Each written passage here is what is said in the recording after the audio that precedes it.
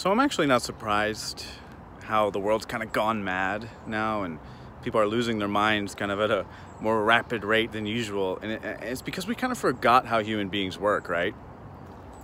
I don't know how we forgot this, but we did. We forgot the fundamentals of how the human brain works and how other people are. What I mean by that is, in this new society, we, we push people into kind of like a singular thing, right? So let's say you are this. And a perfect example, I have a friend who's a musician. Everybody always walks up to him and asks him like, oh, you're such such, play this song, like sing this song.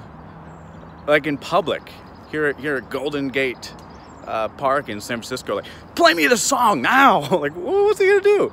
Like get a guitar out and sing you a song? Like we're walking around talking about business stuff. and of course though, you know, people don't want to talk about anything else. And he might be like, oh, well, actually, you know, I was doing this. I don't care. Sing me a song. People want you to do the version of sing them a song. They want you to be one thing. You are like, maybe like a mother or whatever. It's like, oh, you are, you're a mother. You must just be that. You're a lawyer. Tell me legal stuff. You're a lawyer. You must be so official. It's all a bunch of crap. School teacher, right? Like you're a school teacher. You must be a school teacher. Or you're the funny one. You're the strong one. You're supposed to, to fix everything. Aren't you supposed to be the funny one? See, human beings don't work like that. We're many things or multiple things. We have many sides.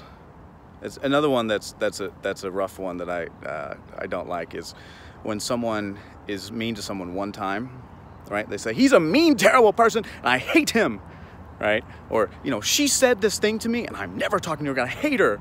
It's like, hey, people have different sides. Maybe maybe there was a, they were having a bad day right? I mean, I've had people come up to me and say things, and I'd say, "Oh, thanks so much, man," you know, cool, you know, at Whole Foods or something, and then they write a comment. He was rude, and he didn't even say he didn't take like an hour to talk with me. He only talked to me for three minutes. I'm like, sorry, I was shopping, right? We all have different sides of ourselves, and the longer we uh, fail to see that and kind of like as a society, right, push that away and say, no, I'm this one thing. I'm virtuous. I'm righteous. I'm funny. I'm strong.